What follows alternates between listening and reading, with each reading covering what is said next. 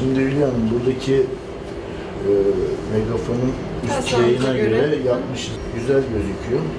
Evet. Sıkıntı yok. E, renklendirebilir miyiz? White Bed. Evet. Render aldık. Şu mor olanı fit edebilir miyiz? Komple.